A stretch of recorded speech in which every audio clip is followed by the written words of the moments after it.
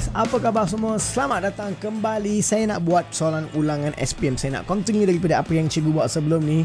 Ya, sebelum ni cikgu dah mula buat. Belum tengok lagi soalan yang pertama cikgu buat untuk kertas 2 tu. Ah, dekat atas link ni ah. Tekan link tu, kamu akan nampak. Pergi tengok video tu dan sambung balik soalan ni. So jom kita pergi ke soalan sekarang. Alright, soalan yang kita nak bincang mula hari ini adalah soalan nombor 3. Yang ni adalah soalan apa? Soalan persamaan kuadratik saya rasa. Jom kita lihat. Darjah 3 menunjukkan dua segi empat sama. JKLM, EFGH. So, apa maksud segi empat sama? That's the point. Segi empat sama. Segi empat sama maksudnya setiap side dia sama panjang dan setiap sudut dalam tu adalah apa? Sama. So, itu maksud dia.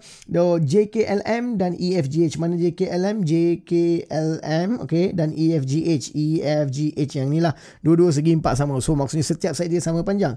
Dia kata diberi bahawa luas segi empat sama EFGH adalah 34. Mana EFGH? EFGH luas ni adalah 34. So cikgu tulis dekat sini 34 cm square. Itu adalah luas segi empat yang ada di dalam sini. Lepas tu dia kata JF sama dengan KJ. Mana JF? JF sama dengan KJ sama dengan LH sama dengan ME. Sebab dia dah pun ada tanda-tanda ni kan. Okay semua ni sama panjang lah dia kata. Dan sama dengan PCM. So maksudnya semua ni adalah PCM. Maksudnya apa dia? Dekat sini adalah PCM. Kalau ni PCM, yang ni pun P, yang ni pun P, yang ni pun P. So itu adalah maksud dia. Betul tak? Alright. Okay. Next dia kata apa? Soalan dia dekat bawah sini dia kata, okay dia kata jika JF lebih besar daripada FK. JF nilai ni lebih besar daripada FK. Hitung dalam CM nilai P. So ditanya awak nilai P guys. Logic Logic, very simple. Yang ini kita kena kaitkan dengan luas sebab dia telah bagi luas, betul kan? Macam mana saya nak tahu luas dalam sini? Macam mana saya nak tahu luas dalam sini? Logik dia adalah saya cari luas yang besar sini, okay? And then saya tolak yang tepi ni, tepi ni, tepi ni, tepi ni, saya akan dapat luas di dalam sini. That's the logic, betul tak? Okay, kalau saya ikut konsep itu, macam mana saya buat? Okay, luas kotak yang besar, okay? Iaitu yang kita namakan sebagai J JKLM. Okay. Luas JKLM. So cikgu tulis luas J uh, JK J J J J JKLM adalah sama dengan tepi dia 8 kan. Kalau dia segi empat sama 8 darat 8 lah. So kita akan dapat 8 darat 8 akan dapat 64 cm kuasa 2. Inilah kotak besar. So sekarang luas segi tiga ni berapa? Ha, luas segi tiga ini berapa? Saya nak tahu. Kalau luas segi tiga ni berapa saya nak tahu. Saya dah tahu tepi ni adalah P. J ini saya kena tahu berapa panjang panjang dia. Logik dia kalau penuh ni adalah 8 cm, dia dah bagi 8 cm, yang ini mestilah kita tolak dengan P. So di sini kita akan dapat 8 tolak P itu adalah panjang J dan apa? E. So cikgu tulis dekat sini yang ni adalah 8 tolak P.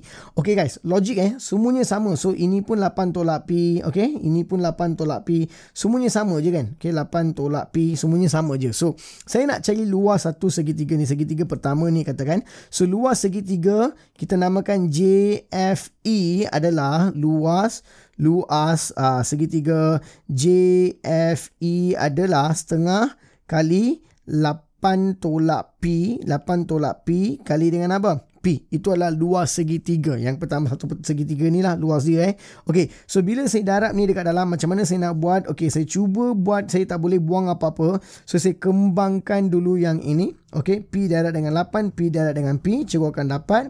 Lepas tu semua ni darat dengan 1 dekat atas lah, cikgu akan dapat uh, 8P tolak P kuasa 2 per 2. So, inilah luas segitiga JFF. Cikgu dah dapat dah, JFF, uh, sorry, JFE eh. Okay, cikgu cuba tanda JFE lah. Eh. Alright, JFE ni lah JFE, segitiga dia. Okay, saya kata logik dia, segi empat besar ni, tolak dengan 1, 2, 3, 4 kita dapat jawapan kat tengah-tengah ni kan. Okey, satu ni kita dah tahu jawapan dia adalah 8P tolak P kuasa 2 per 2. Ada tak empat-empat ni sama saiz dia? Sama je kan? So, saya darab dia dengan berapa? Empat. So, apabila saya darab dia dengan empat dekat sini, buang dua, dekat sini saya dapat dua. Dua ni darab dengan P kuasa dua dan juga 8P. Saya akan dapat 16P tolak 2P kuasa dua. Itulah apa yang saya dapat. Alright? So, inilah apa yang saya akan dapat untuk empat segitiga ni. Semua ni lah. Satu, dua, tiga, empat. Saya sudah dapat 6P tolak 2P kuasa 2. Itulah luas dia. So, logiknya adalah yang paling besar iaitu 64. Okey, kalau kita tolak dengan empat segitiga yang ada dalam sini kan kita dah buat luas dia berapa? 16P tolak 2P kuasa 2. Saya tolak dengan 16P tolak 2P kuasa 2. Kalau saya selesaikan ni saya akan dapat 30 apa? Empat jawapan yang ada dekat dalam sini. That's the logic. So, jom kita selesaikan benda ni.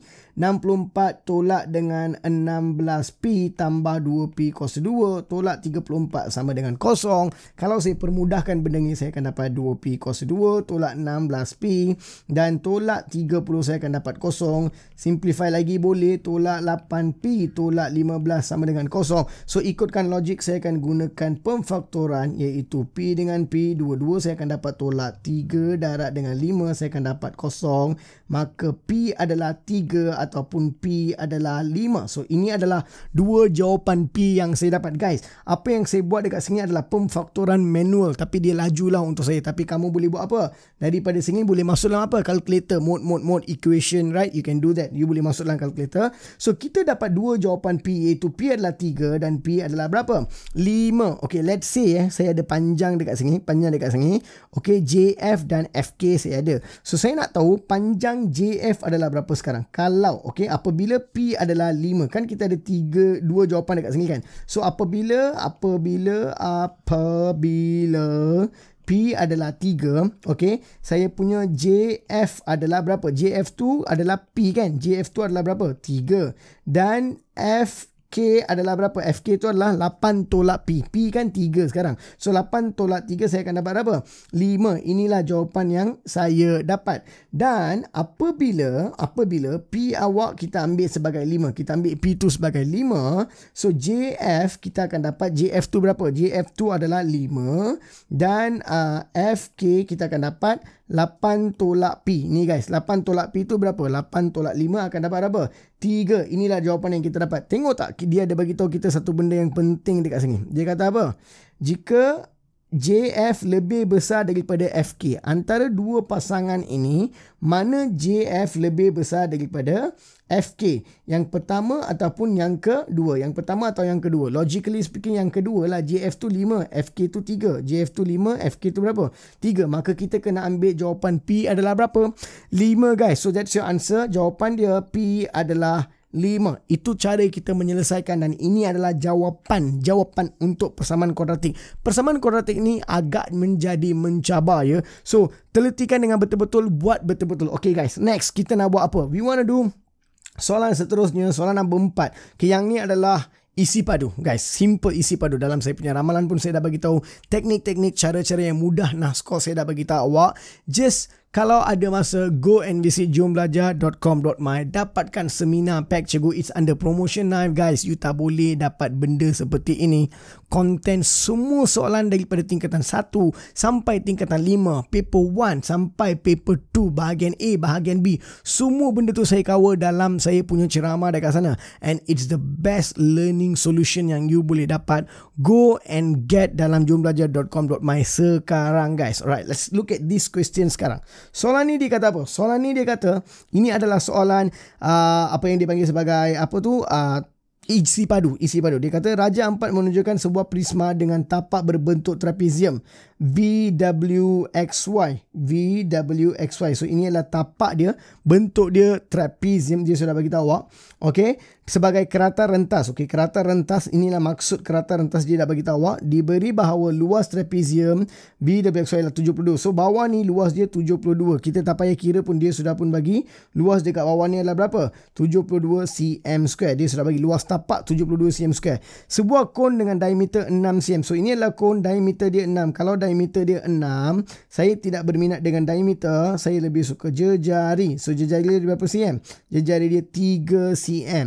Dan tinggi 10 cm. So daripada sini ke bawah tinggi dia adalah berapa? 10 cm. Sama dengan tepi ni lah sebab dia sama lah dari bawah sampai ke atas. 10 cm dikeluarkan. Dia potong dan keluar. Maksudnya dibuang lah.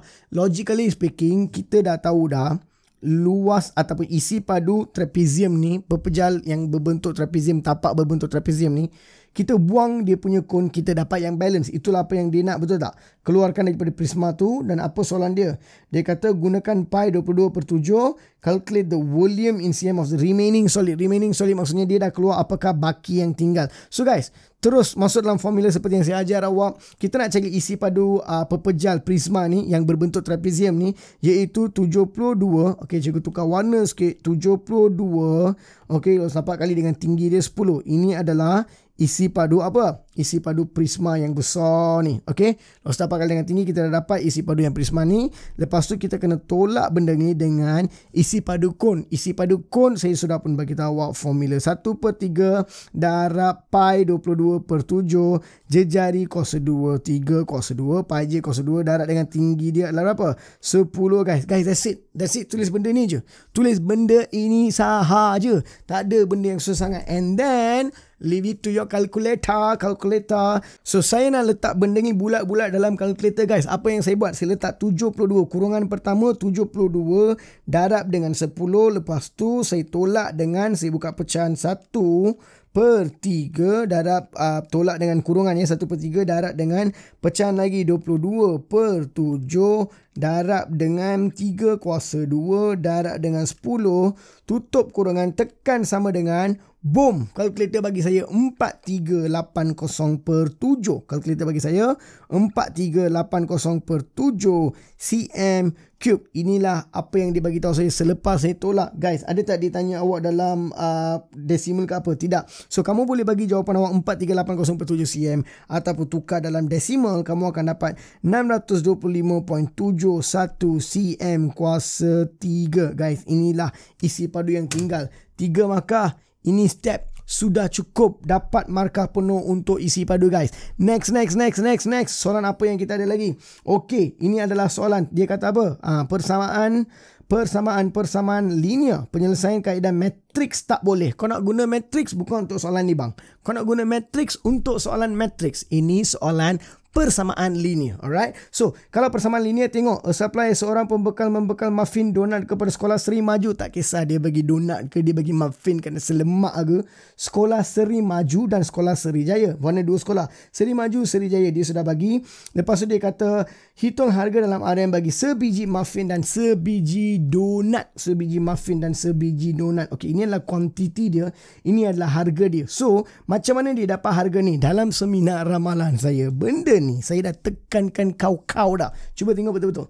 Okey, seminar, ah, seminar pula. Fokus kepada soalan ni dia kata jumlah, okey, jumlah yang dia dapat harga ni. Macam mana dia dapat jumlah harga ni? Sebab dia ambil kuantiti ni, okey, dia ambil kuantiti ni, dia kena darab dengan harga satu biji muffin dan satu biji donat. Berapa harga satu biji muffin? Saya tak tahu, tapi saya suka, saya dah bagi tahu pada pelajar saya, kalau harga muffin kita letak M dan harga donat kita letak D donat. Apabila kita darab kita darab kita tambah dua-dua ni kita akan dapat ni. Tampak tak persamaan dah pun dibentuk guys? Dah pun dibentuk. So kalau kita tuliskan benda ni dalam bentuk persamaan kita akan dapat apa?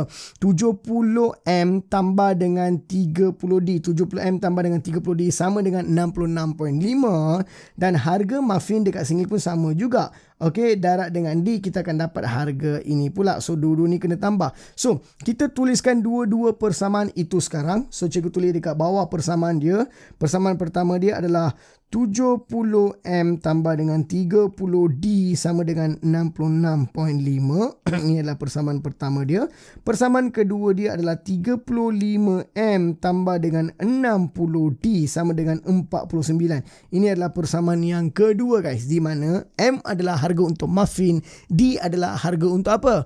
Donate. Alright, okay now let's solve this. Kalau saya nak buat, okay yang ni cara penggantian pun boleh, penghapusan pun boleh. Saya rasa penghapusan mudah. So apa yang saya akan buat adalah saya akan ambil persamaan yang pertama, saya darat dengan 2 supaya 60 dia diagli sama. So apabila saya darat 2, saya akan dapat 70 ni, darat dengan 2 saya akan dapat 140M tambah dengan 60D sama dengan 66.5 darab 2 66.5 darab 2 no mistake in SPM gunakan calculator you akan dapat 133 3 133 so inilah persamaan satu yang baru lah persamaan satu yang baru.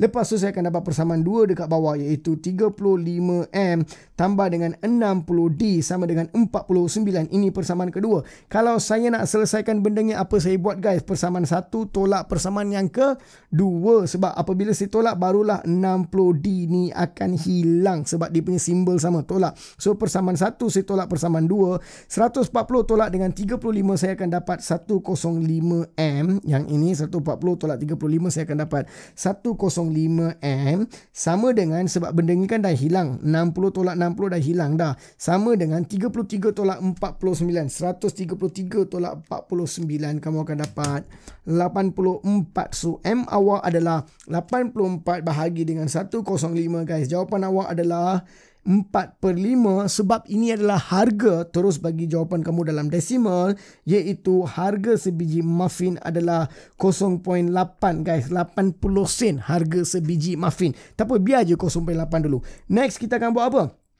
Sudah dapat M gantikan dalam mana-mana persamaan. You akan dapat you punya jawapan untuk apa? Dapat jawapan untuk kamu punya D kamu akan dapat. So you nak ganti dalam satu pun boleh dalam dua pun boleh. So saya akan buat apa? Apabila apabila M sama dengan 0.8 daripada persamaan satu. Persamaan satu saya nak buat dalam persamaan satu lah. Persamaan satu saya dapat 70 M tambah 30D sama dengan 66.5. Kan M2 saya sudah tahu berapa sekarang. M2 adalah 0.8. So, saya akan darat 70 tu dengan 0.8 tambah 30D sama dengan 66.5 guys to make it simple saya selesaikan ni bawa sana dan saya tolak. Ok so 0.8 darat dengan 70 saya akan dapat 56 lepas tu 66.5 tolak dengan jawapan 56 saya akan dapat 21.2 ataupun 10.5 maka kita akan dapat 30D sama dengan 10.5. Inilah apa yang saya akan dapat. So, kalau nak cari D, D adalah sama dengan apa? 10.5 bahagi dengan 30 guys. Kamu akan dapat 7 per 20 ataupun kita kata 0.35. Ya, itu jawapan awak guys. That's your answer. That's your answer. So, bila kamu dah dapat jawapan macam ni, pastikan kamu tulis dia punya jawapan. Jangan tinggalkan macam ni. Eh. Jangan tinggalkan 0.8 ataupun D sama dengan 0.35. Kamu tulis saja dekat sini harga muffin. Okey, muffin adalah sama dengan RM0.80 dan harga apa dia? Donut, donut, donut adalah sama dengan RM 0.35 kalau kamu nak tulis 0.80 sen ataupun 0.35 sen pun boleh juga diterima guys. Kalau kamu dah tahu tiga soalan ni saya dah cover dalam video ni, I will do more. I want to keep it short. So saya akan buat lagi lagi lagi lagi dalam video yang akan datang very soon. Dia akan datang. So if you free on every Friday, join saya dalam live stream saya pukul 9 malam. Kita akan bincang banyak benda yang penting dalam sana guys. And then seminar ramalan, the most important pack yang kamu kena dapat guys. There's ni one time you nak buat SPM tolong jangan duduk untuk SPM ulangan seperti ini. Just do one time get your good results. Dapatkan seminar pack ramalan dan kamu punya keputusan dijamin. Dijamin saya berikan jaminan. Sebab konten-konten dalam tu begitu banyak saya telah buat untuk awak for you to get focus and get good results. So guys itu saja untuk video kali ini. Saya akan jumpa awak dalam video yang akan datang. Join saya dalam live stream setiap Jumaat dan jangan lupa subscribe, like dan share. Thank you guys. See you. Bye bye.